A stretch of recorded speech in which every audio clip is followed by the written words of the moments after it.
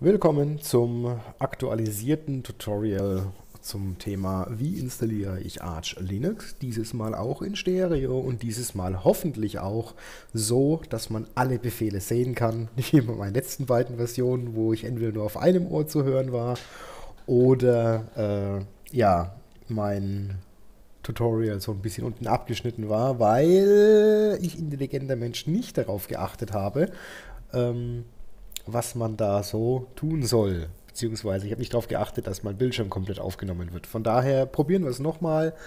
Ähm, ja, wie fange ich an? Ihr wollt Arch Linux installieren. Ein paar kleine Worte davor. Ähm, Arch Linux ist eine sehr, sehr grundlagenbasierte Distribution.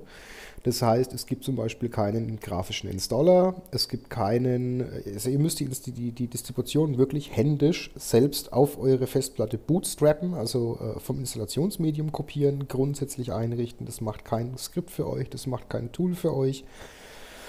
Und ihr solltet auf jeden Fall mit den absoluten Basistools von Linux vertraut sein, beziehungsweise wissen, wie diese Tools funktionieren. Ihr solltet zum Beispiel wissen, was ist ein symbolischer Link, was ist ein Editor, welche Editor gibt es unter, unter Linux. Ihr solltet zum Beispiel auch mit der Bedienung von Nano vertraut sein oder von VI oder V oder Vim.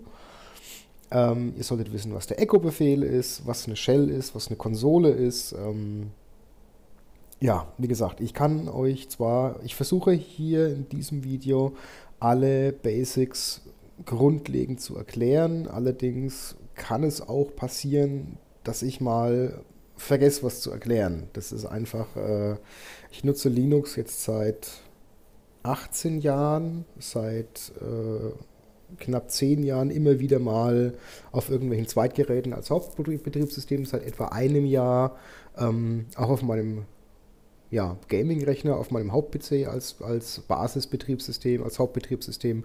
Windows habe ich eigentlich nur noch in der virtuellen Maschine irgendwo am Laufen, für den Fall, dass ich es halt doch nochmal irgendwie brauchen sollte.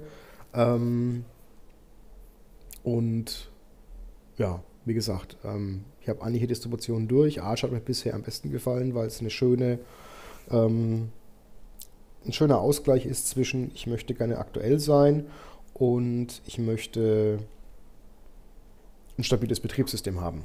Ähm, das, das, ist die einzige Distribution, die ich bisher getroffen habe, die noch ein bisschen komplexer sind, was die Installation, Installation angeht, sind Gentoo und Linux from Scratch. Ähm, wobei ich habe noch nicht Slackware ausprobiert, das soll auch äh, etwas komplexer sein. Allerdings weiß ich das nur vom Hörensagen. Ähm, ja, fangen wir mal an. Wie kriegt ihr eigentlich Arch Linux? Das hier können wir erstmal zumachen, das brauchen wir später. Prinzipiell braucht ihr zwei Tools. Ihr braucht einmal den Etcher, um euch einen Installations-Bootstick zu erstellen. Und dann braucht ihr noch das Arch ISO. Den Etcher kriegt ihr ganz einfach. Ähm, das ist, glaube ich, über die Homepage balena.io. Genau hier. Also, äh, ich weiß nicht, ob man es gut lesen kann. Ich kann es leider auch nicht größer machen. Ähm, doch, kann ich sogar. Ja, das ist noch ein Skript, an dem ich noch nebenbei arbeite. So, auf dieser Website hier kriegt ihr dann den, den Malena Etcher. Gibt es auch für Windows. Es sagt einfach, ähm, ja, man sollte vielleicht die Skripte erlauben. Das, da falle ich aber immer rein. Ähm, hier einfach sagen Etcher for Windows, meinetwegen auch als Portable. Das ganze Tool sieht dann ungefähr so aus. Und alles, was ihr im Endeffekt machen müsst, ist, ihr braucht noch das Arch ISO. Das kriegt ihr unter archlinux.org. Da klickt ihr im Endeffekt auf Download, scrollt dann hier etwas runter, geht dann auf einen Host bei euch in der Nähe. Also ich nehme mal stark an, entweder Deutschland oder Österreich. Sucht euch hier dann einfach einen aus, und ladet euch dann hier das Arch Linux.iso herunter. So, ihr seht, ich habe es schon. Äh, wenn ihr dann fertig seid, wenn ihr es runtergeladen habt, ähm,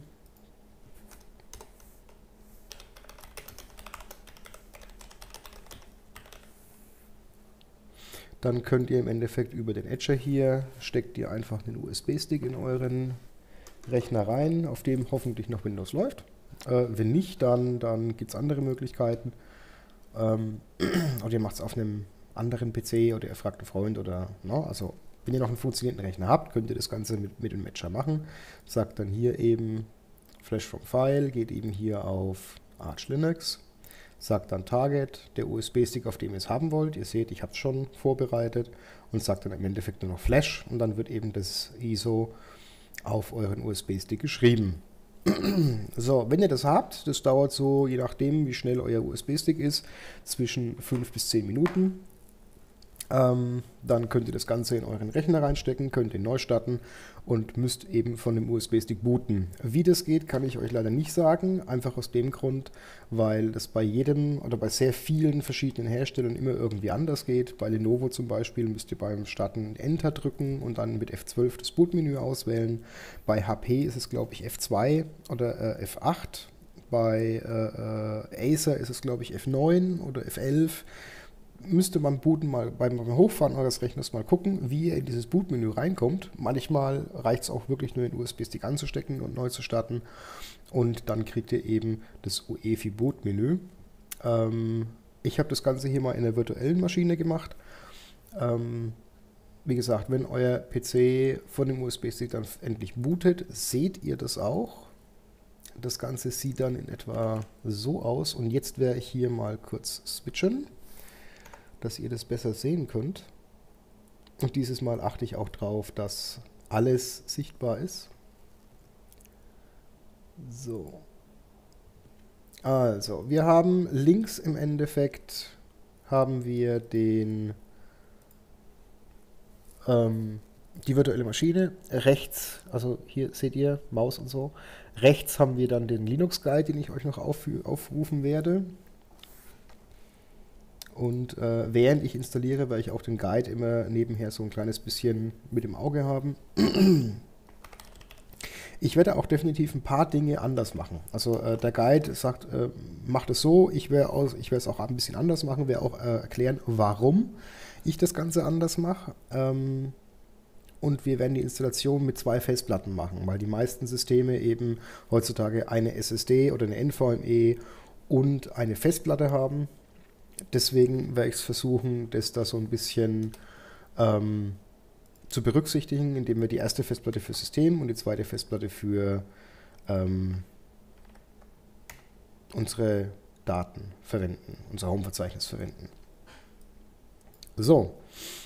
Ähm, das ist wie gesagt der Guide. Den Link werde ich euch in der Videobeschreibung auf jeden Fall noch mit verlinken. Also wenn ihr irgendwas in meinem Video nicht versteht, könnt ihr hier nochmal nachlesen und vielleicht mit ein bisschen Nachdenken äh, äh, auch auf die Lösung kommen oder ihr fragt einfach in den Kommentaren nach. Ähm, ich habe auch einen Discord-Server, auf dem ich ab und zu mal unterwegs bin. Ob ich den noch verlinke, weiß ich nicht, weil äh, auch ich habe einen, ich sage mal in Anführungszeichen, Privatleben, habe eine Arbeit und kann natürlich nicht jedem äh, instantan sofort bei der ersten Installation helfen. Also ich muss euch der Fairness halber auch sagen, äh, wie gesagt, ich nutze Linux schon eine Zeit lang und auch ich habe meine erste, zweite, dritte und vierte Arch-Installation komplett in den Sand gesetzt, musste komplett neu anfangen. Ähm, ja, wie gesagt, Linux ist kein, äh, wie, wie, geht, es, wie geht diese wunderschöne, äh, dieses wunderschöne Zitat? Linux ist benutzerfreundlich. Es ist nur sehr, sehr, sehr ähm, picky. Ähm, es ist nur sehr wählerisch, mit wem es Freund sein möchte. Von daher, äh, ja, gut, weiter im Text. Also, wir haben unser, unseren USB-Stick auf unserem Laptop oder auf unserem PC mit mehreren Festplatten gebootet. Das hier ist unser Menü. Was wir brauchen, ist auf jeden Fall das ganz normale Arch Medium, das wir hier booten. Bei euch wird es ein bisschen länger dauern, bei mir wird es ein, äh, ein bisschen kürzer dauern, bei mir ein bisschen länger, weil virtuelle Maschine und so.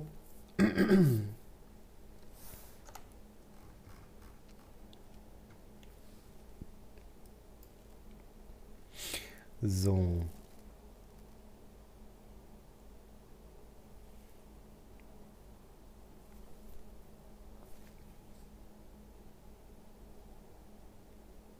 So, das ist es. Das hier ist jetzt unser Installationssystem, unser Live-System. Und äh, ja, hier im Guide steht es schon drin. Ich mal gucken, ob ich das ein bisschen größer machen kann hier. Genau, Vorbereitungen. Zunächst muss das Arch Image heruntergeladen werden. Das haben wir ja schon. Partitionierung. So, wir haben unser System gebootet und jetzt müssen wir unsere Festplatten eben partitionieren. Ähm, bitte nicht wundern, die Festplatten hier in meiner virtuellen Maschine sind etwas sehr klein. Ähm, hat den Grund, es ist ein Testsystem, das ich auch einfach mal wegwerfen kann, wenn ich es nicht mehr brauche. Ähm, von daher ist es ein bisschen klein, aber wir brauchen auch nicht mehr. Also zumindest braucht Linux nicht wirklich mehr.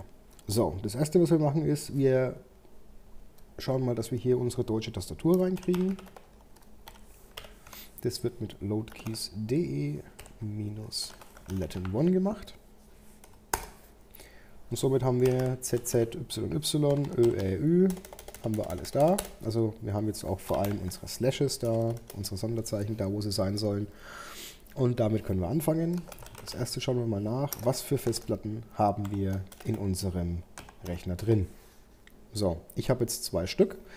Wie gesagt, einmal eine NVMe, das ist der erste Eintrag, disk slash dev slash NVMe 0N1 und das zweite wäre dann dev SDA.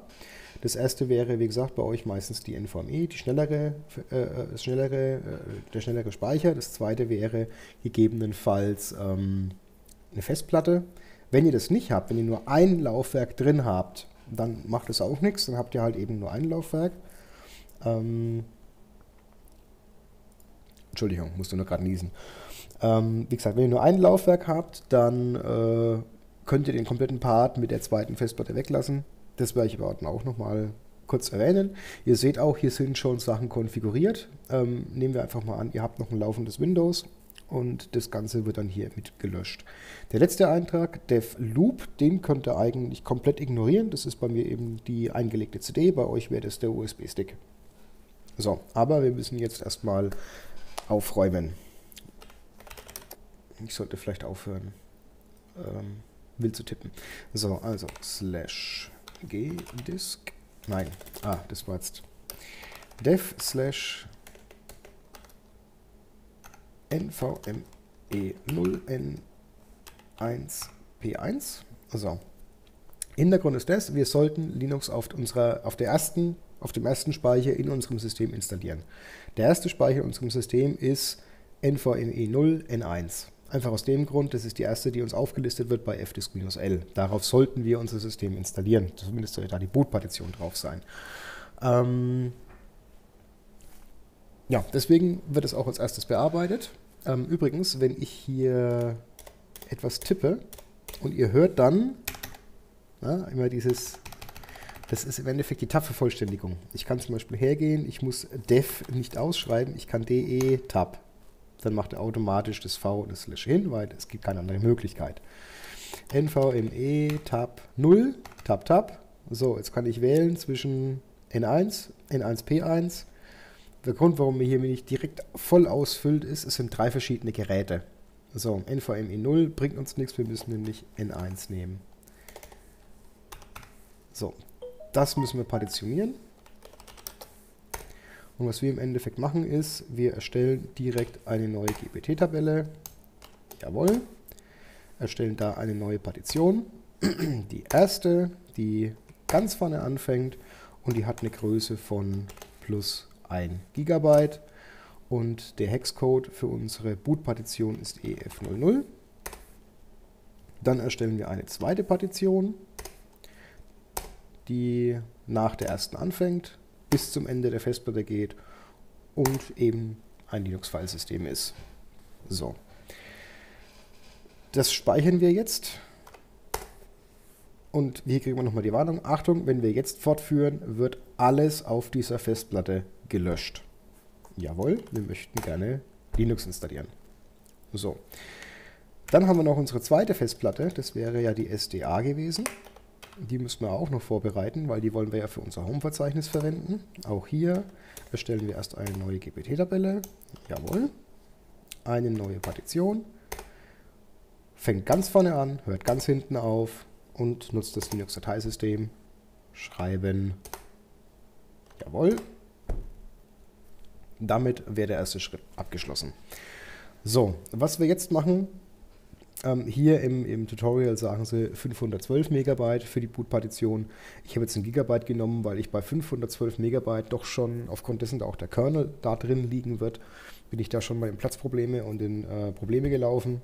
Deswegen nehme ich lieber mal ein Gigabyte. Und ganz ehrlich, bei momentanen äh, SSD-Größen von 128, 256, 512 Gigabyte sollte jetzt ein Gigabyte nicht wirklich ins Gewicht fallen. So, aber die zweite Partition verschlüsseln und das LVM einrichten. Was heißt es eigentlich? Stellt euch die Festplatte, stellt euch eine Festplatte, ich mache das, das Schaubild hier mal größer. So. Stellt euch im Endeffekt eure Festplatte wie dieses Rechteck hier vor. Das ist der komplette Inhalt eurer SSD. So, was wir jetzt gemacht haben, wir haben den ersten Teil hier weggenommen und haben gesagt, das hier wird unser Bootbereich mit 1G, 1 GB, NVMe 0, N1, P1. So, das können wir hier jetzt auch mal kurz zeigen.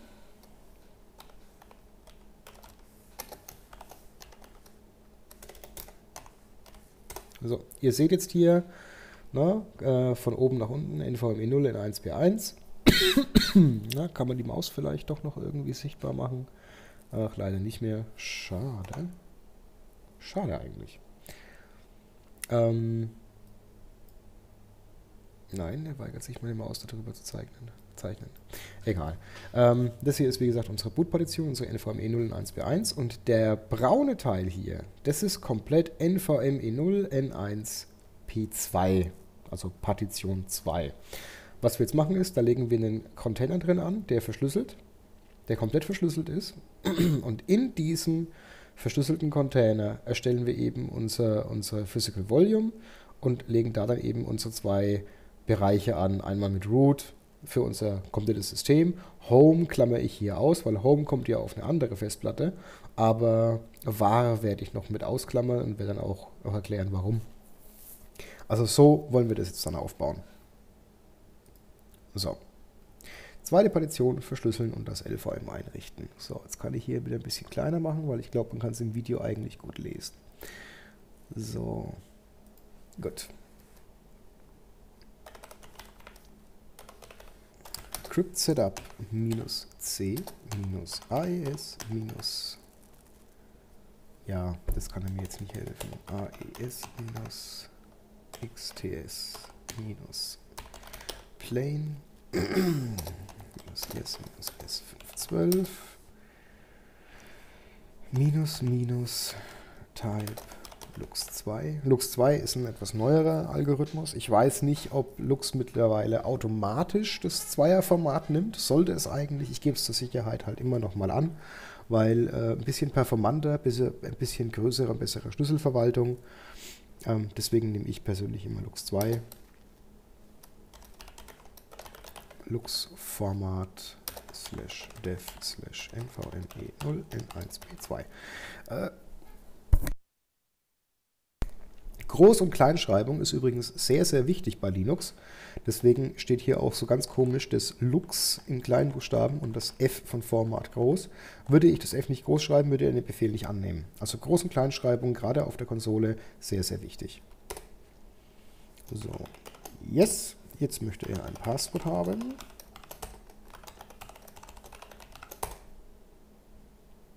So, damit wäre die äh, Verschlüsselung von unserer Hauptpartition eigentlich fertig.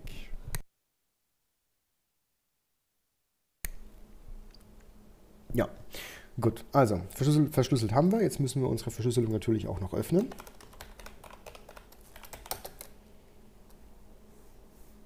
Open slash dev slash nvme 0 n1p2. Und wir brauchen noch einen Namen. Das Passwort, was wir eben vergeben haben. Und wir können loslegen. So. Darin müssen wir jetzt unsere, äh, unser Volume Management erstellen. So, hier sieht man auch Crypt Setup, Looks Open. Na, die sagen halt LVM. Ich habe jetzt halt Arch genommen. So, pv create.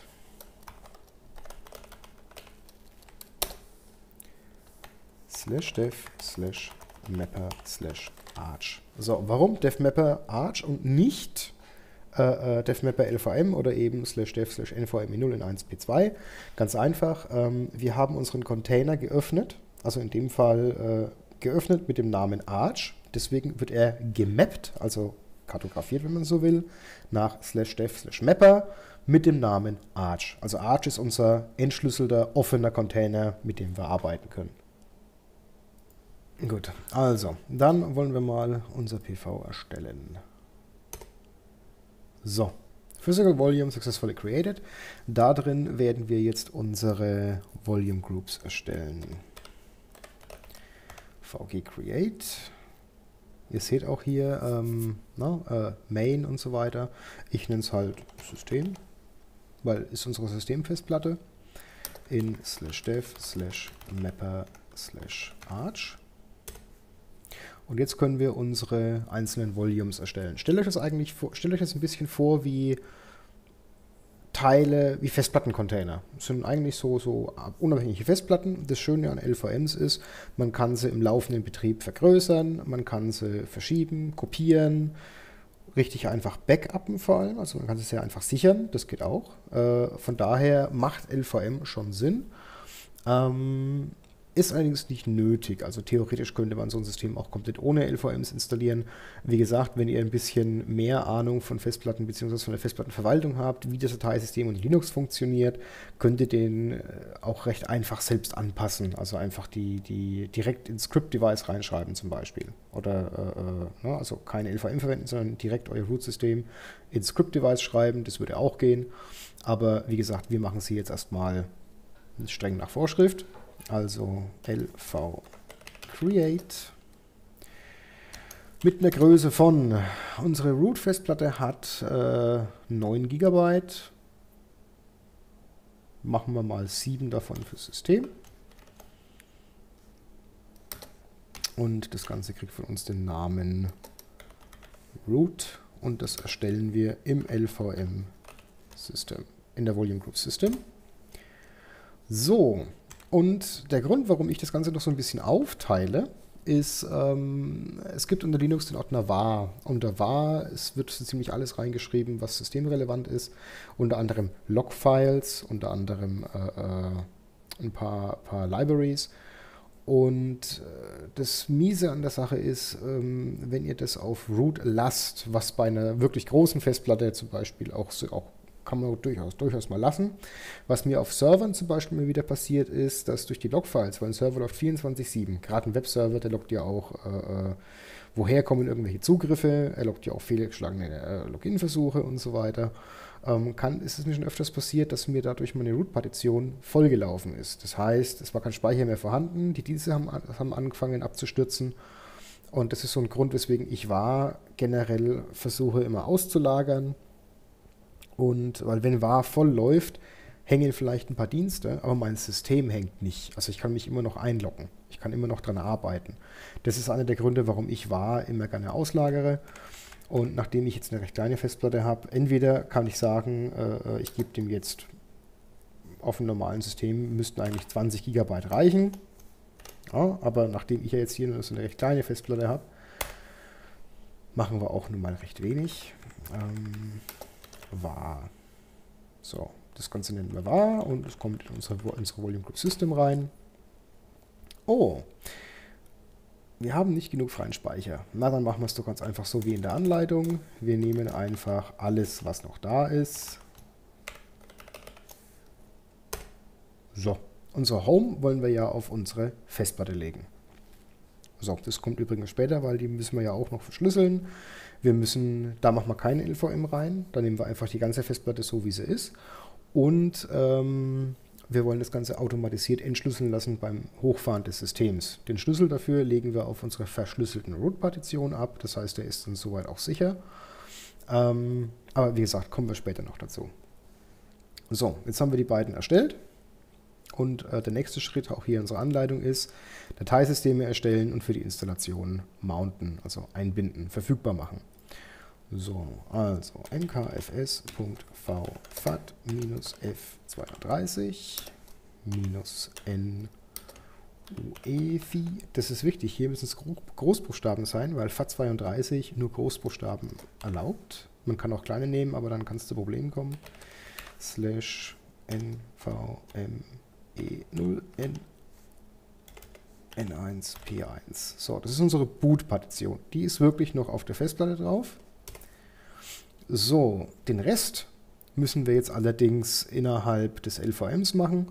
Also mkfs.ext4, das ist das Dateisystem. Man kann ext4 nehmen oder xfs oder reiserfs oder äh, es gibt, ich nehme ext4, weil es ist am längsten, es, ich, es ist am stabilsten, meiner Meinung nach. Es ist zwar alt, aber dadurch, dass es eben auch so ein gewisses Alter hat, unglaublich stabil.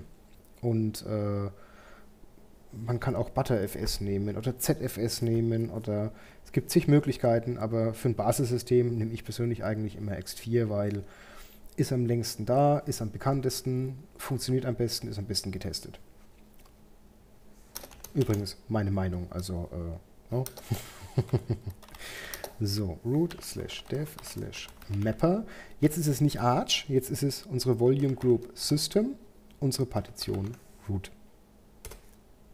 So, wurde erstellt. Das Ganze machen wir jetzt noch mit var.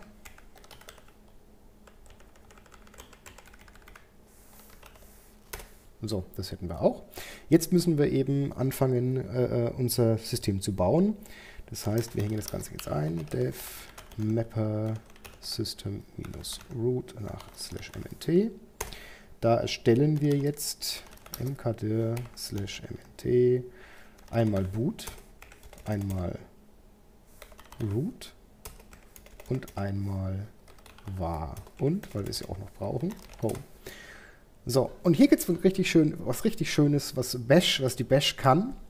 Ähm, bevor ich jetzt jedes Mal diesen Befehl eintippen muss, könnte ich das Ganze auch automatisieren oder schneller machen. mkdir slash mnt slash so boot, root, var, home, geschweifte Klammer zu.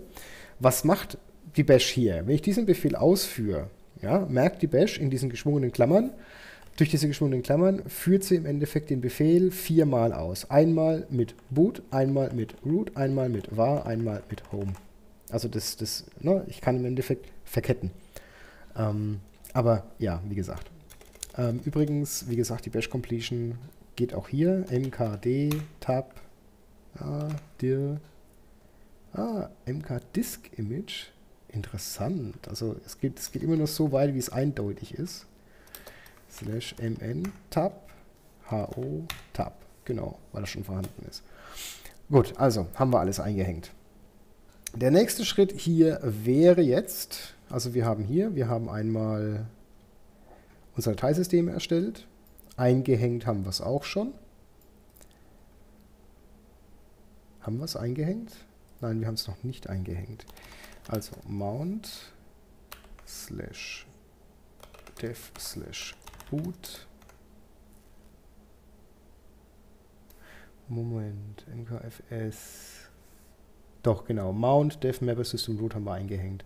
Mount slash dev slash nvme0 n1p1 nach slash mnt boot mount slash dev slash mapper system minus var nach slash mt slash var. So, Home haben wir ja noch nicht. Home könnten wir jetzt theoretisch vorbereiten, machen wir aber erst, nachdem wir unser System mal grundinstalliert haben. Das geht eigentlich recht einfach. Man sieht es auch jetzt hier. Die Grundinstallation durchführen, mit der bevorzugten Methode Spiegelserver auswählen und so weiter und so fort. Ähm, noch ein kleiner Hinweis. Wenn ihr die Installation macht, gebe ich euch den heißen Tipp, verwendet ein Netzwerkkabel. WLAN kann man auch benutzen, allerdings ist es recht schwer einzurichten. An diesem Punkt brauchen wir jetzt Internet, deswegen, wenn ihr die Möglichkeit habt, steckt ein Netzwerkkabel ein. Ob ihr Internet habt, könnt ihr einfach testen. Ping google.de. Google antwortet uns, das heißt, wir haben Internet. Dann machen wir hier jetzt erstmal ein pacman-update. Also er soll jetzt erstmal unsere Datenbank updaten, dass wir die aktuellsten Quellen haben. So, und jetzt machen wir pack strap nach slash mount also slash mnt. Und die Pakete, die wir brauchen. Base, Base, Devil. Git brauchen wir später noch, das ist auch wichtig. Die DOS FS Utils. Nein, DOS FS Tools. Dann GPTF Disk. LVM2, weil wir haben ja LVM erstellt. Dann natürlich Linux, dann auch die Linux-Firmware für WLAN-Sticks, für Hardware, die an unserem Rechner hängt. Dann Nano, weil ich persönlich bevorzuge Nano. Vim wäre auch ein Editor. Dann brauchen wir noch den Network Manager. Was brauchen wir noch? Hardtop ist ein gutes Tool. IOTop ist ein nützliches Tool. Erkläre ich euch dann später, was das alles ist. Ähm und die Bash-Completion. So, Feuer frei. Oh ja, ich habe mich vertippt. ja, es soll den Befehl korrigieren. Also wie gesagt, je nachdem, wie schnell eure Internetverbindung ist, kann das unter, unter, Umständen ein bisschen länger dauern. Man sieht hier, ich lade mit einer recht hohen Geschwindigkeit. Ähm, von daher dauert es auch nicht wirklich so lang. Ja, man sieht auch, mit einer schnellen Festplatte und einer schnellen Internetverbindung geht die Installation von Arch eigentlich recht schnell vonstatten.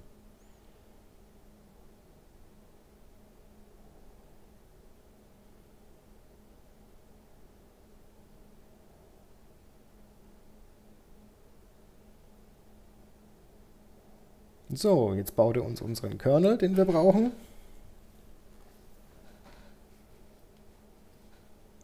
Diese Possible Firmware Errors, die kann man eigentlich ignorieren. Das ist nur für unser Rescue-System.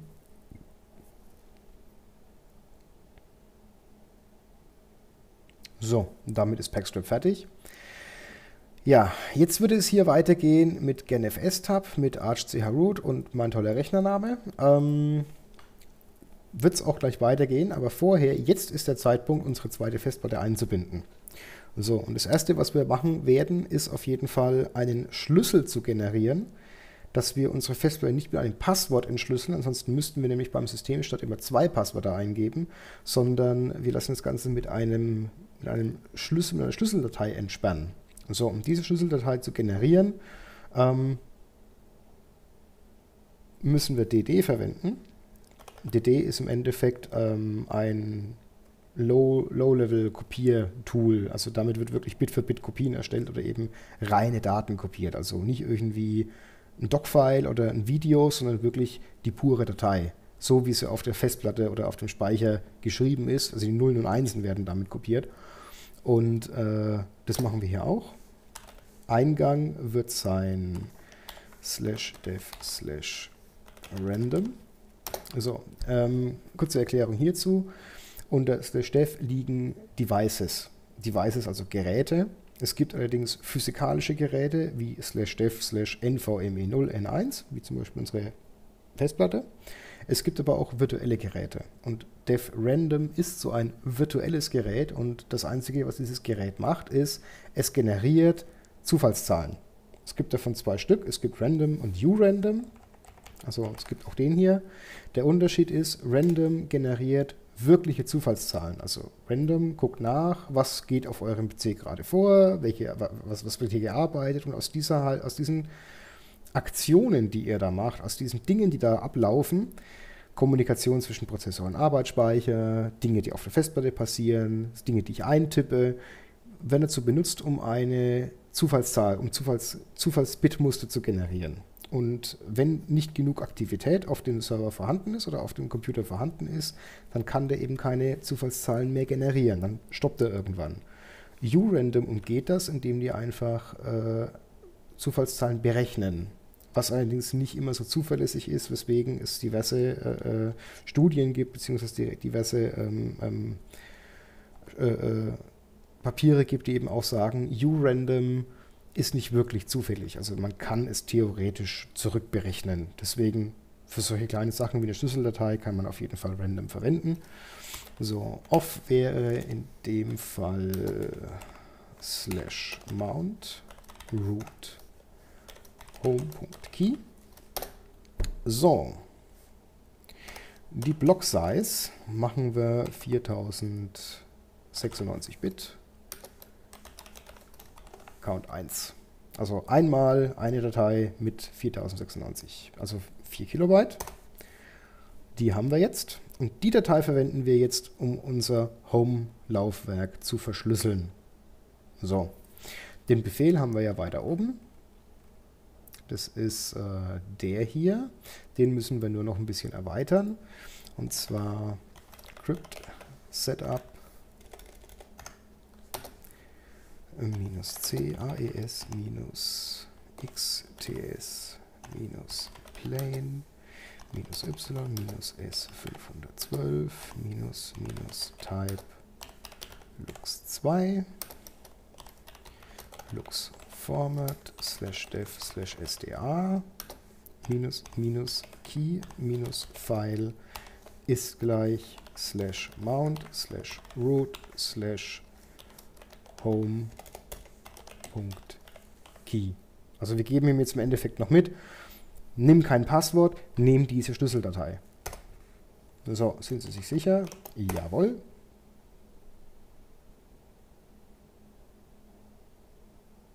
Erledigt. So. Diese Schlüsseldatei liegt auf unserem verschlüsselten Root-Laufwerk. Das heißt, wir werden es nachher noch so einrichten, dass er, wir, wir entsperren unser Systemlaufwerk mit Root, geben beim Booten unseren, unser Passwort ein. Damit wird das C-Laufwerk, also unser, unser Root-Laufwerk, entschlüsselt und da liegt auch der Schlüssel drauf, um eben das Home auch noch zu entschlüsseln. Dadurch, dass ja unser Systemlaufwerk verschlüsselt ist, ist der Key geschützt. So, was passiert allerdings, wenn ihr jetzt irgendwas kaputt gemacht habt und ihr wollt euer Root-Laufwerk, äh, euer Home-Laufwerk mit einem Live-System entschlüsseln? Dann müsstet ihr zuerst euer Root entschlüsseln, den Key da rausziehen und mit dem Key nochmal Home entschlüsseln, was ein ziemlicher Aufwand ist. Deswegen kann man als zweite Möglichkeit immer noch ein Passwort mit hinterlegen, eben für solche Fälle. Das Ganze geht auch recht einfach. Crypt Setup looks add key slash dev slash sda 1. Das, was wir, äh, SDA, was wir ja vorhin verschlüsselt haben. So, minus, minus, key, minus, file. Also jetzt müssen wir noch sagen, welches File er verwenden soll, dass wir jetzt eben, na, um das zu bearbeiten, slash mt, slash root, slash home.key. So, jetzt müssen wir noch ein Passwort vergeben. Jetzt können wir irgendwas eintippen. Ja, also äh, wählt ein sicheres Passwort, das nicht das gleiche Passwort ist, wie das, was ihr für euer Root verwendet. Könnt ihr zwar auch, wenn allerdings das Root-Passwort rauskommt, habt ihr auch ja, das Passwort für euer Home. Auf der anderen Seite, wenn irgendjemand an das Root-Passwort kommt, hat er durch die, Schlüssel, durch die Schlüsseldatei auch Zugang zu Root. Ja, es geht aber halt auch andersrum. Ähm, wenn ihr eure Platte mal irgendjemand, wenn ihr irgendjemand anderen helfen wollt oder irgendjemand anderen um Hilfe bittet und der sagt, ja, wir müssen jetzt hier Home entschlüsseln, gib mal das Passwort. Ja, und ihr habt verschiedene Passwörter, hat er nur Zugriff auf Home und nicht auf Root. Also, wie gesagt, unterschiedliche Passwörter machen schon Sinn. Wahrscheinlich habe ich mich jetzt gerade vertippt. Ich habe mich vertippt. Also nochmal.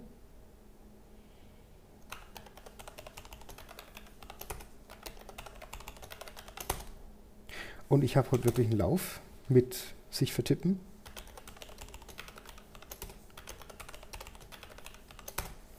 Jetzt hat es geklappt. So, also unser Home-Laufwerk hat jetzt eine Datei zum Entschlüsseln und ein Laufwerk, also ein, ein Passwort zum Entschlüsseln.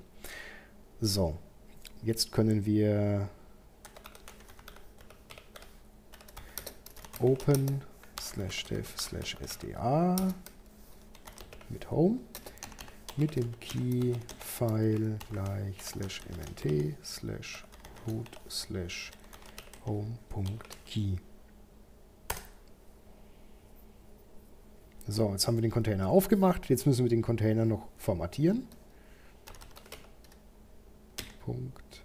Kleiner Tipp übrigens hier, wenn ihr nicht andauernd einen Befehl, so einen ellenlangen Befehl nochmal neu eintippen wollt, weil er ist ja schon mal eingetippt worden, Steuerung R, dann könnt ihr nämlich suchen in den Befehlen, die ihr schon eingetippt habt, nkfs, zack, da ist er ja schon. Einfach Pfeiltaste nach links oder rechts So. Home. Dev Mapper und unser Container ist Home.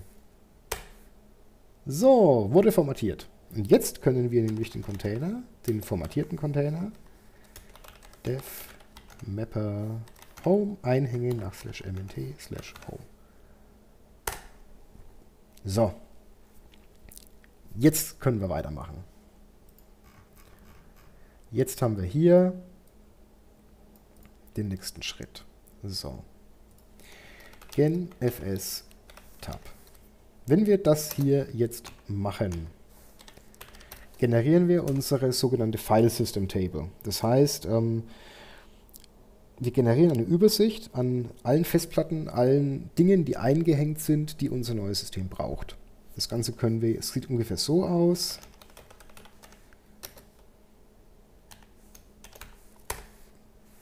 Ah. So würde die Datei zum Beispiel aussehen. Ähm, man, es gibt verschiedene Möglichkeiten. Man sieht hier weiter oben mit den Optionen F, Groß L, klein p, Groß p, klein t, Groß u und h. So, wenn wir L verwenden, nimmt er die Labels, ja, also in dem Fall die Namen. Label ist gleich UEFI, Label ist gleich var, Label ist gleich home, also die Bezeichnungen, die wir vorher vergeben haben.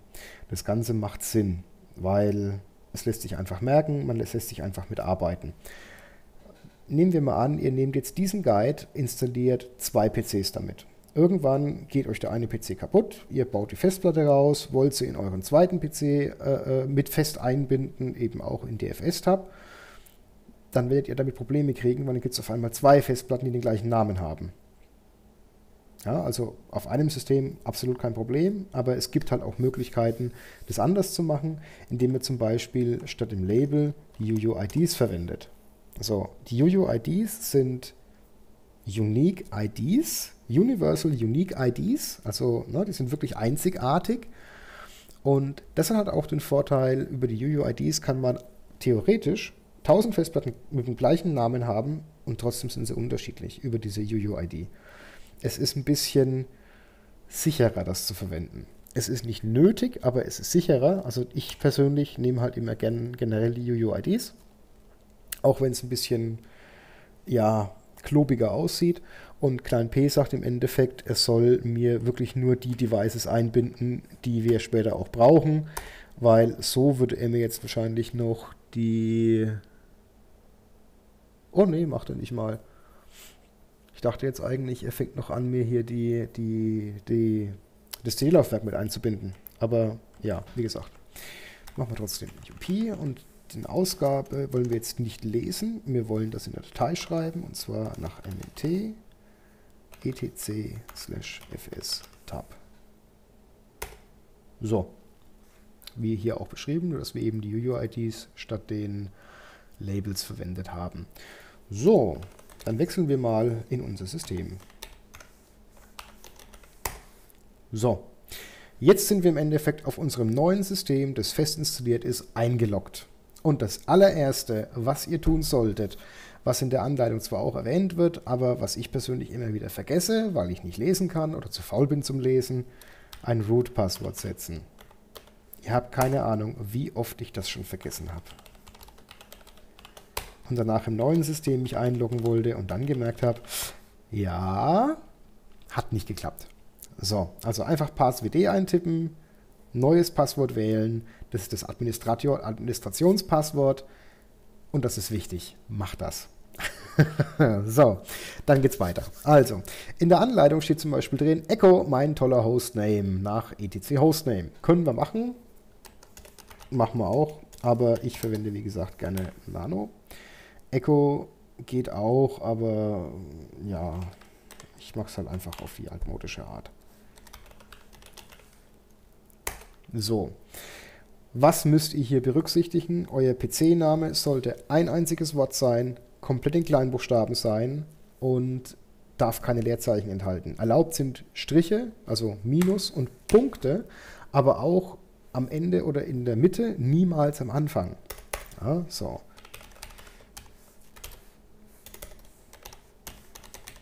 Das zum Beispiel ist erlaubt.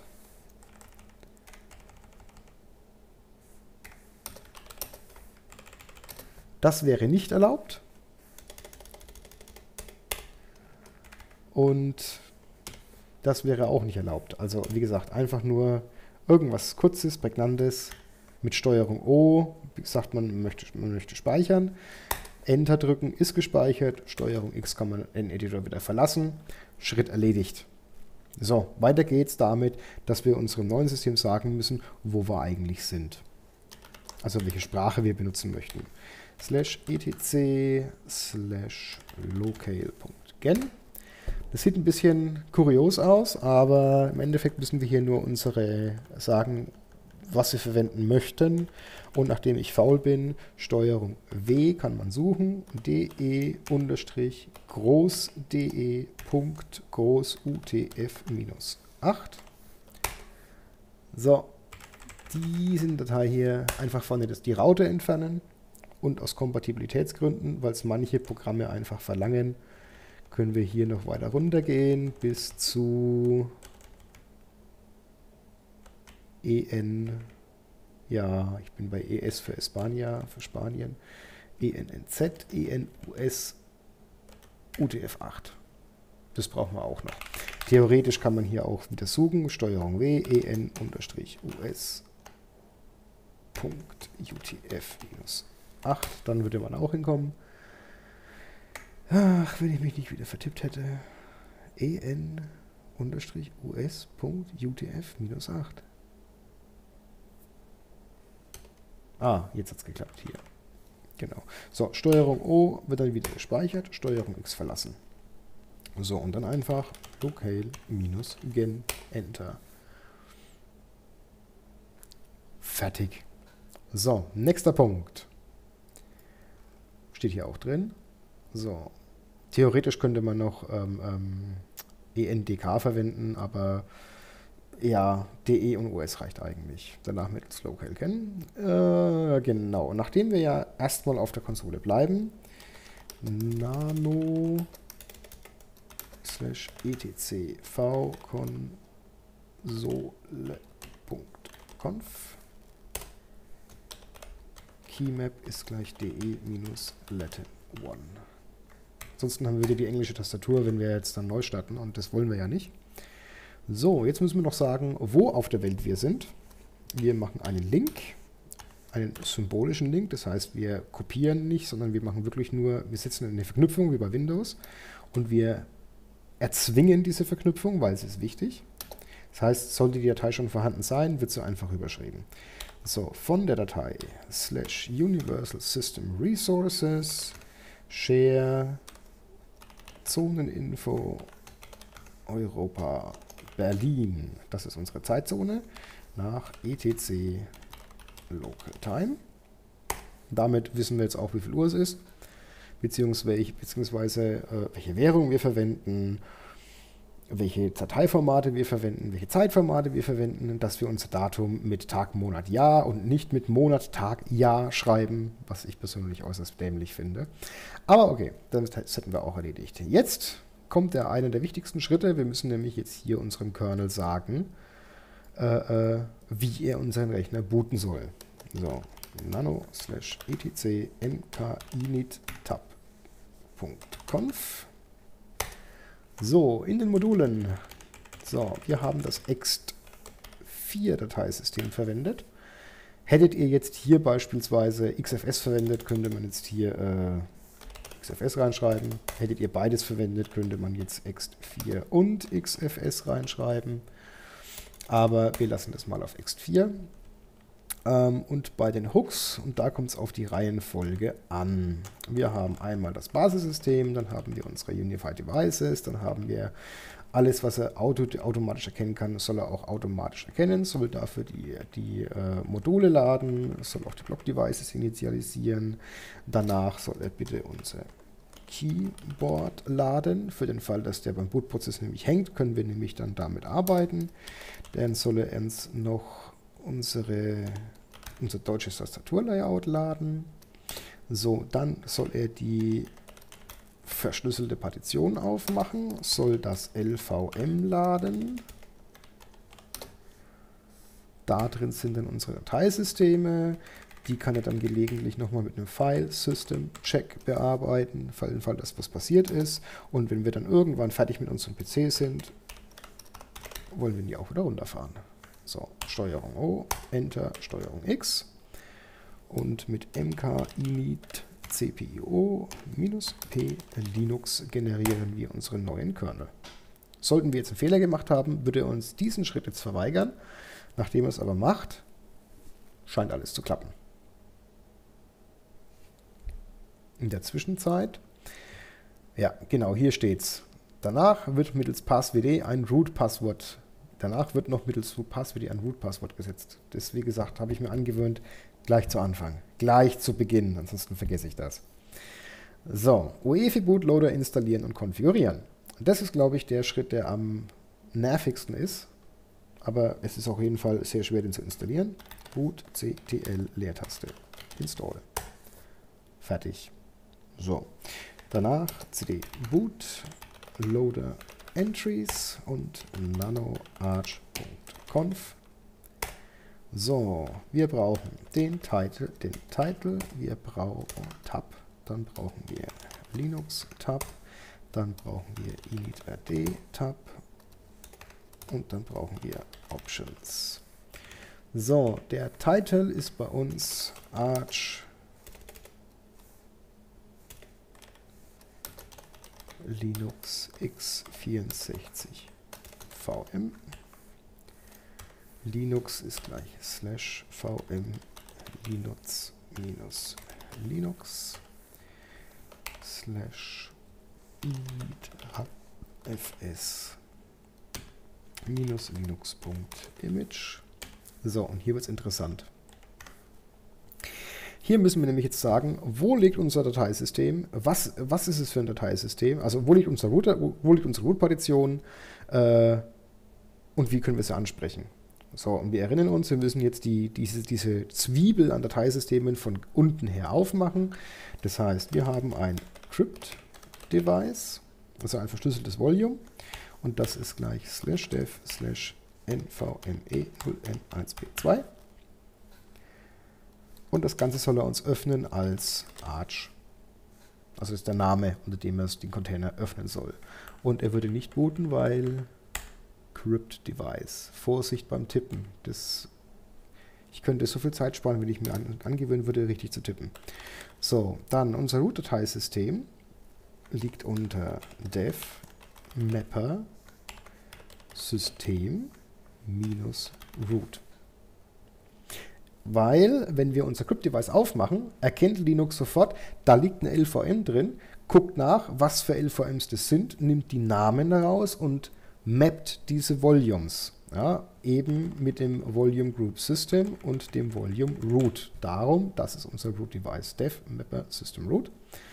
So, das Ganze wird geöffnet in ups, Root Leertaste RW Leertaste lang ist gleich de, Leertaste init ist gleich slash unified system resources slash lib slash system d slash system d. So, locale ist de unterstrich de Punkt utf minus 8. So. Nochmal Probe lesen. Arch Linux x64, VM Linux minus Linux, Initram FS, Crypt Device, NVM 01p2, Arch, Dev Mapper, System Root. Okay, Steuerung O, Speichern, Steuerung X. So, das Ding kopieren wir jetzt mal. Nach Failback oder Fallback, ist eigentlich erstmal egal.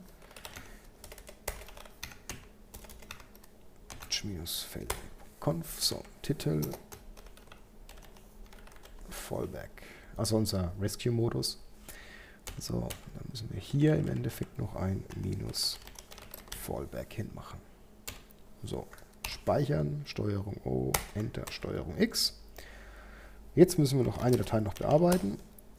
Und zwar den die loader.conf. So, er soll drei Sekunden vor dem Booten warten, soll unsere Konsole mit der maximal möglichen Desktop-Auflösung ausführen. Und der Default-Eintrag ist die arch.conf. So, und das war's eigentlich. System verlassen und neu starten. Steuerung D beendet übrigens unser CH-Root, also wir werden damit ausgeloggt. Dann umount, umount slash mnt slash boot. Wir sind noch nicht ganz fertig. Zum Glück, zum Glück, sonst hätten wir alles wieder einhängen müssen.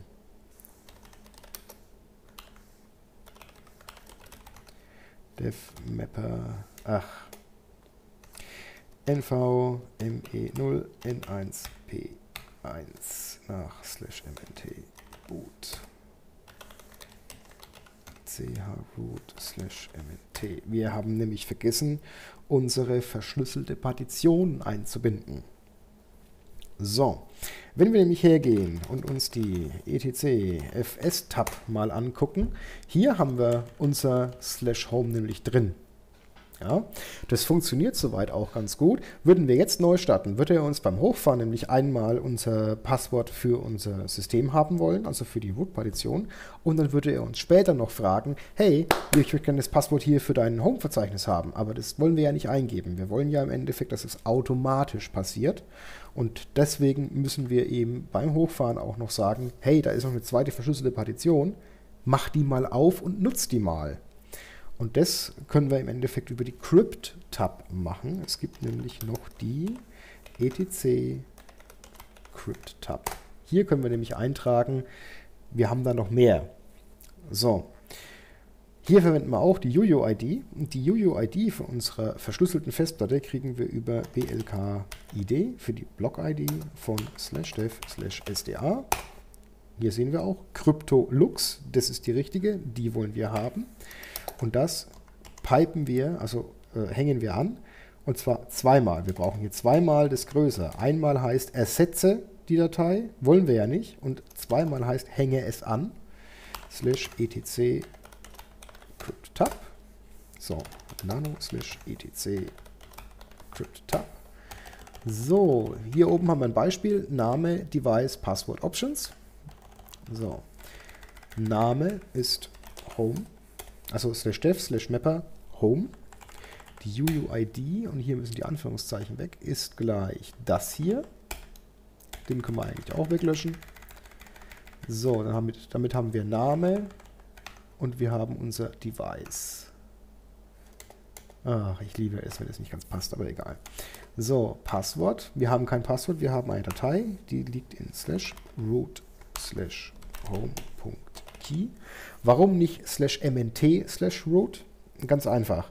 Unter slash mnt, wir sind ein Installationssystem. Stellt euch das wie eine Schicht vor. Die erste Schicht ist das Installationssystem und in slash mnt haben wir unser installiertes System reingehängt.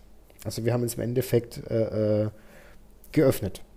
So, und wir müssen jetzt, nachdem wir hier gerade in unserem installierten System sind und nicht im Installationssystem, müssen wir jetzt so denken, wenn unser System ohne diesen USB-Stick hochfährt, ist im Endeffekt dieser ganze Layer vor slash mnt, der fällt weg, der wird weggeschnitten. Deswegen nicht slash mnt root, sondern slash root. So, und Options, naja, es ist eine Lux-Verschlüsselung. Steuerung O, Enter, Steuerung X. Was wir auch noch machen können, das könnten wir zwar auch erst später machen, aber machen wir jetzt doch schon noch. Ähm, Pack man-s. Wir benötigen noch sudo, wenn es nicht schon drauf ist. Warning, sudo ist up to date. Okay, perfekt, ist schon installiert. Dann erstellen wir uns mal eine Gruppe für unseren Benutzer, weil als Root zu arbeiten ist ein absolutes No-Go. Root sollte man nie zum Arbeiten verwenden. Group Add äh, euer Benutzername, ja, also euer Benutzer und eure Gruppe sollten gleich heißen. Man kann es auch unterschiedlich machen, aber Benutzerverwaltung ist ein ganz eigenes Thema für sich, ähm, was auch recht komplex ist. Damit kann man auch äh, Berechtigungen in einzelnen Ordner steuern, aber für den Beginn, für die Grundinstallation sollte man es erstmal so einrichten. So, und dann User Add Wir, machen ein, wir, wir make a Home Directory, also wir erstellen unser Home Directory. Wir geben uns auch eine Shell, und zwar die bin bash. Die ist eigentlich recht einfach.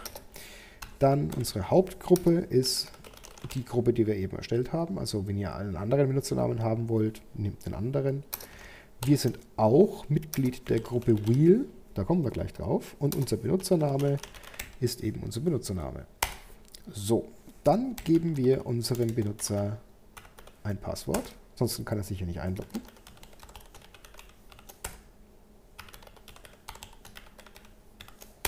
Das ist übrigens euer wirklich Username-Passwort, also euer Benutzername und euer Passwort. Nicht das Root-Passwort verwenden, ein eigenes wählen. So, jetzt müssen wir dafür sorgen, dass wir später eben nicht als Root arbeiten, sondern mittels sudo eben als Benutzer Root werden können. Das brauchen wir noch. Editor ist gleich nano, Leertaste, wi sudo. So. Und hier einfach mal bis mit, mit der, mit der Bildabtaste bis ans Ende der Datei springen. Und hier gibt es nämlich diesen Eintrag hier. Uncomment to allow members of the group wheel to execute any command. So. Das einfach wegmachen, das, das Rautchen, die Raute davor, Steuerung O, Enter, Steuerung X. So. Jetzt können wir unser System neu starten. So, Steuerung D fürs Ausloggen, dann U mount slash dev, äh, dev mnt slash home. Aber machen wir es doch mal so. Wir haben home, bar, boot. Die sollen uns alle aushängen. Zack, hat er gemacht. Und jetzt noch umount slash mnt und jetzt einfach ein Reboot. Ne, wir machen das anders. Wir machen kein Reboot, wir machen ein Power Off. So. Was ihr jetzt an eurem PC macht, euer PC sollte jetzt dann aus sein, also ausgeschalten sein. Das heißt, ihr könnt jetzt den USB-Stick abziehen. Und äh, das Ganze ist auch ganz praktisch, weil wir wollen ja jetzt rausfinden, ob es denn funktioniert. Und deswegen USB-Stick abziehen, Rechner wieder einschalten. So, und dieses Mal seht ihr, ne, wir haben hier unser Fallback, wir haben hier unsere VM, wir haben Reboot into Firmware. Irgendwann später, wenn ihr euch sehr viel mit Arch beschäftigt, wenn ihr auch mal experimentieren wollt, wenn ihr dann hier mehrere Einträge habt und euch dann wundert, warum bootet immer das, ich möchte mal was anderes standardmäßig ausprobieren. Wenn ihr jetzt auf einen Eintrag geht und D drückt, dann seht ihr ganz unten Default Boot Entry äh, äh, Selected. Ja, also das heißt, wenn ihr jetzt einen Neustart macht, ich setze jetzt hier einfach, ich drücke jetzt einfach mal den Reset-Button, dann wird jetzt automatisch immer standardmäßig Fallback ausgewählt. Ja, jetzt gehe ich hierher, D, Default Boot Entry Selected, ich mache einen Neustart und schon fährt mir wieder mein... Ich sage es deswegen, weil ich habe tagelang gesucht, wie ich das einstelle. So, Neustart. Er möchte unser, unser Festplattenpasswort haben.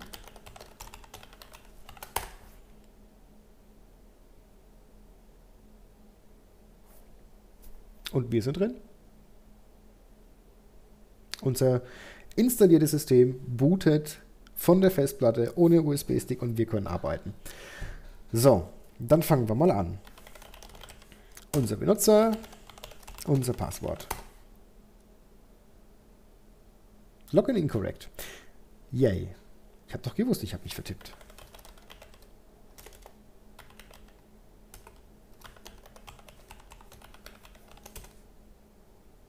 Okay.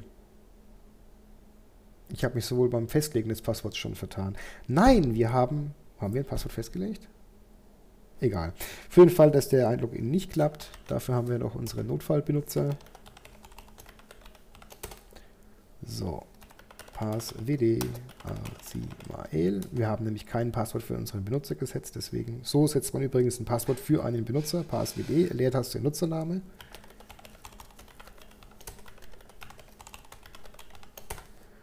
Jetzt aber hat aber unser Benutzer ein Passwort. Steuerung D ist übrigens immer Logout. Und schon funktioniert es auch. So, sudo-i. Hier möchte er übrigens immer euer Nutzerpasswort haben. Nicht das Passwort vom Administrator, also nicht das Root-Passwort. So, systemctl enable network manager. Den haben wir ja vorhin mit installiert. Den brauchen wir nämlich, um, weil wir haben kein Internet. So, deswegen enable, dass er auch beim Systemstart automatisch mitgestattet wird. Und was wir jetzt noch machen ist Start, weil jetzt funktioniert unser Internet. So, an dieser Stelle könntet ihr jetzt auch euer WLAN einrichten. Das funktioniert jetzt. Und zwar NMTUI. Edit a Connection, Activate a Connection, Set a System Hostname, Edit a Connection. Hier müsst ihr jetzt theoretisch äh, äh, mit Tab geht ihr hier auf Add. Und hier könnt ihr nämlich jetzt sagen Wi-Fi. So, und hier unter Device, hier müsstet ihr jetzt äh, theoretisch euren WLAN-Adapter stehen haben. Meine virtuelle Maschine hat keinen WLAN-Adapter, deswegen steht hier nichts drin. Aber ne, nehmen wir mal an, hier würde jetzt drin stehen WLP0S1 als Beispiel. Als SSID müsst ihr jetzt eben nachgucken, wie heißt euer WLAN. Zum Beispiel Fritz Box äh, 6980 SL Security wäre dann vielleicht WPA und WPA2 und Passwort wäre dann 1, 2, 3, 4, 5, 6, 7, 8, 9, 1, 2, 3, 4, 6, 7, 8, 9, irgendwas, bla bla bla. Dann könnt ihr hier mit Tab weitergehen bis auf OK.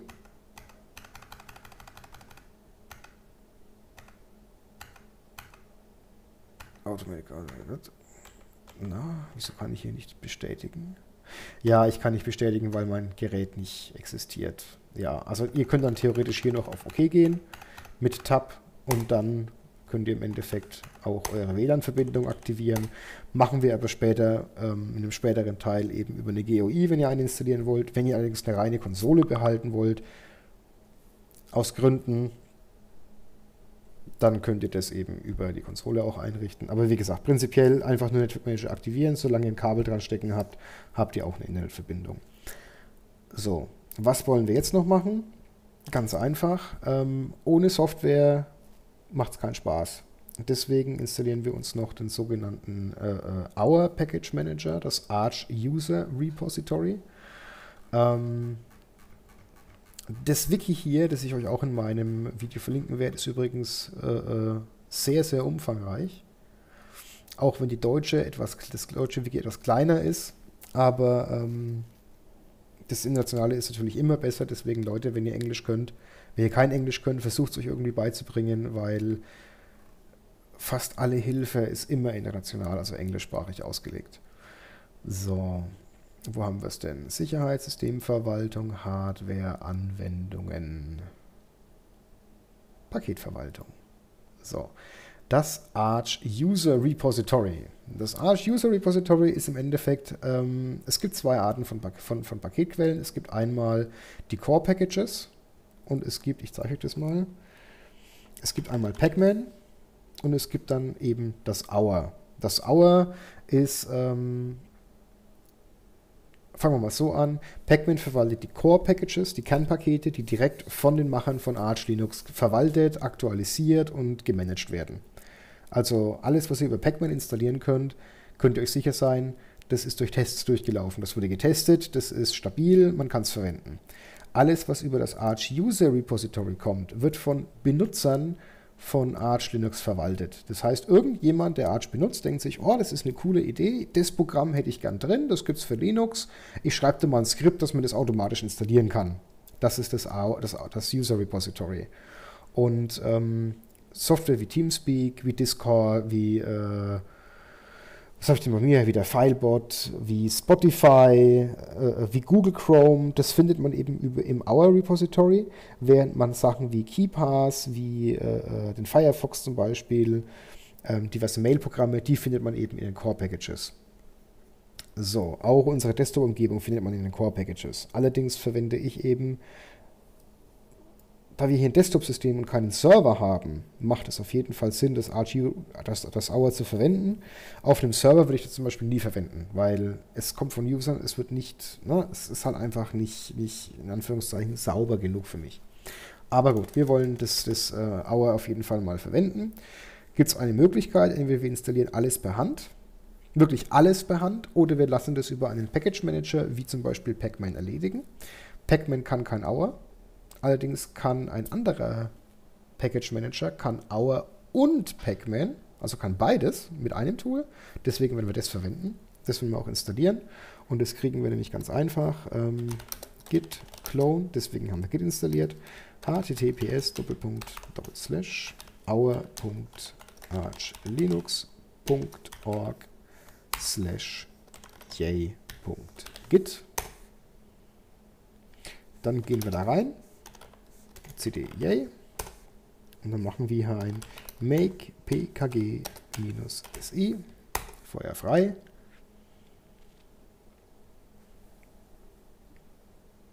Und durch die Base Devil, durch das Paket Base Devil sollten wir nämlich auch alle Abhängigkeiten haben. Genau, jetzt möchte er noch die Programmiersprache Go installieren. Das ist, weil Yay in Go geschrieben ist. Können wir tun.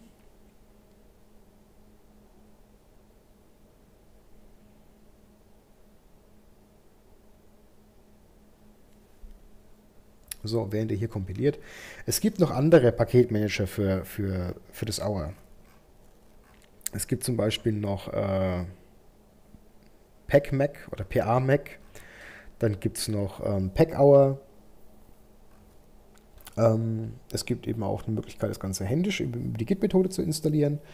Wie gesagt, es gibt genug Möglichkeiten dafür. Ich nehme halt einfach Yay, weil, wie gesagt, mit Yay muss ich mich nicht umgewöhnen. Yay kann äh, äh den Pacman-Index ver äh, verwenden. Ne?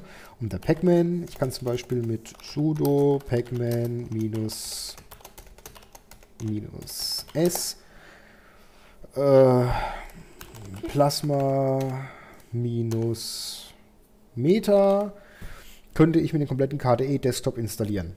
So, na, so, möchte ich ein Paket suchen, das irgendeine bestimmte Funktion erfüllen soll, zum Beispiel, äh, ich möchte jetzt gerne die Netzwerktools installieren, dass ich einen Windows Share auf, das, ist, das heißt CIFS, das Paket, CIFS. Ich weiß aber nicht genau, da war noch was dran. So, kann ich suchen. Habe ich hier einmal die CIFS-Utils und einmal GVFS-SMB. Oder äh, ich möchte gucken, ob ein, Programm, ob, ob, ob ein Tool installiert ist. Ähm, haben wir das Base Devil Paket installiert. Oh, Base Devil was not found. Was found. Hm. Das haben wir doch eigentlich installiert.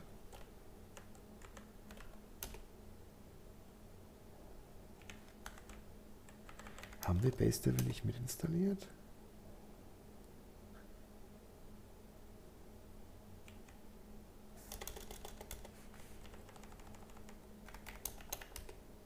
Base ist auf jeden Fall installiert.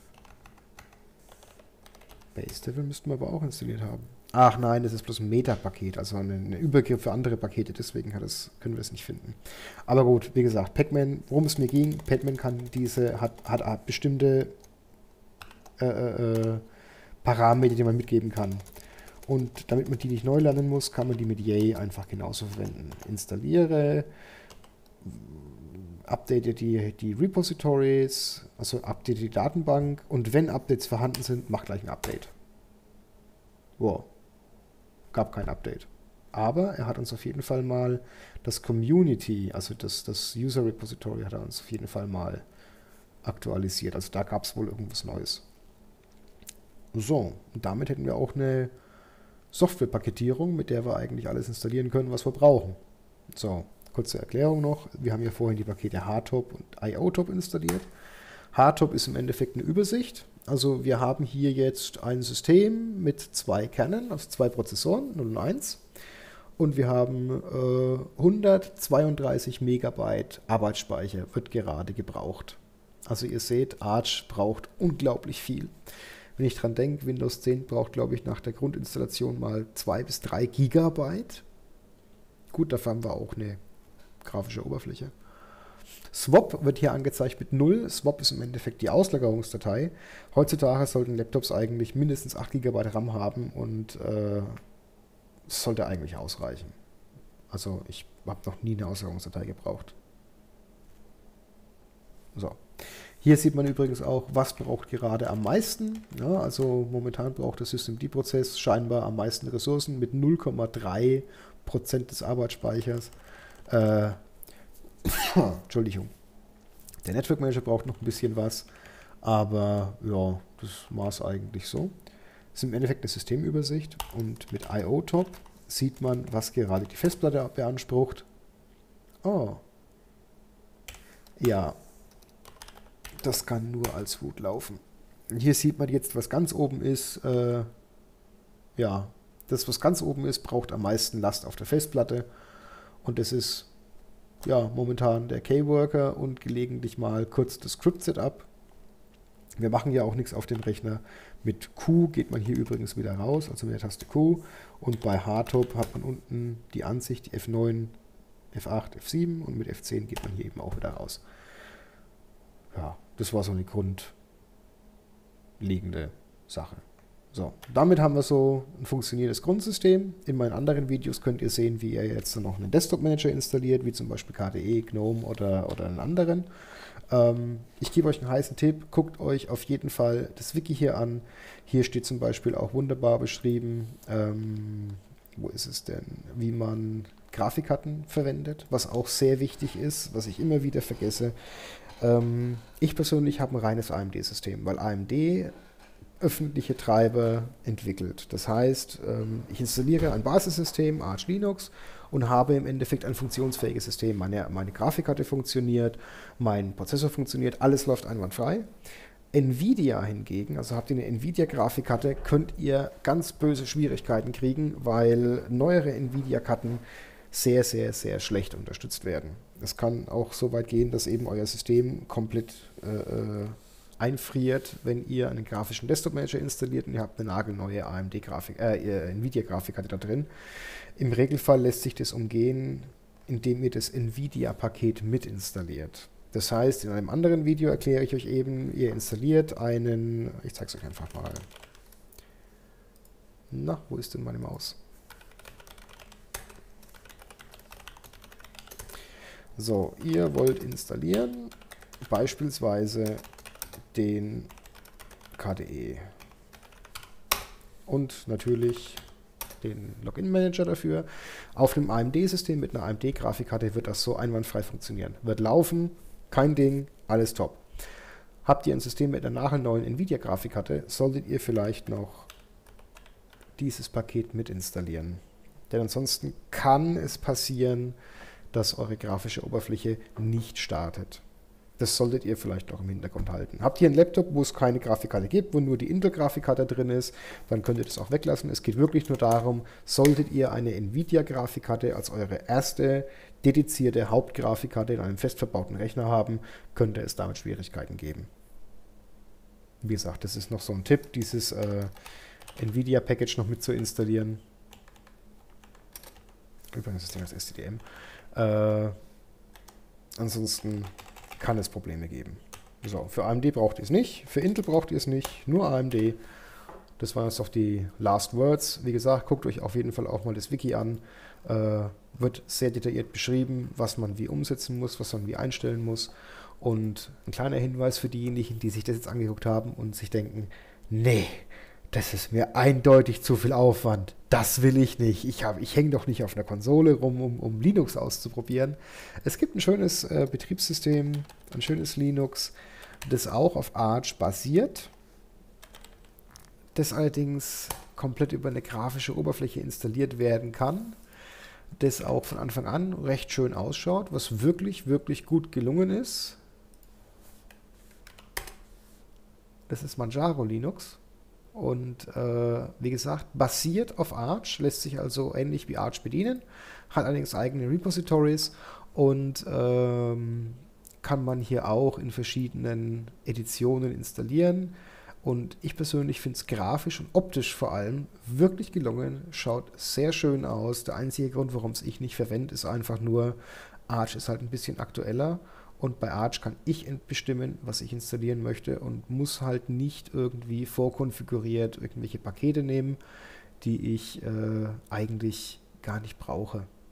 Wie gesagt, ähm, wer sich das mal angucken will, gibt es auch ein paar schöne Videos dazu. Ähm, das Neueste sieht eigentlich auch recht gut aus. Okay, welcome to another video. Ah, ja, ja, und bla und weg. Aber man sieht hier auch, ähm, ja, das ist glaube ich sogar noch die Installation, aber hier sieht man genau.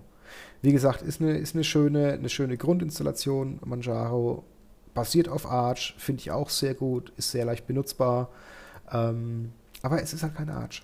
Es ist halt für Leute, die eben diesen ganzen Konsolen-Spaß hier, den wir gerade gemacht haben, nicht tun wollen.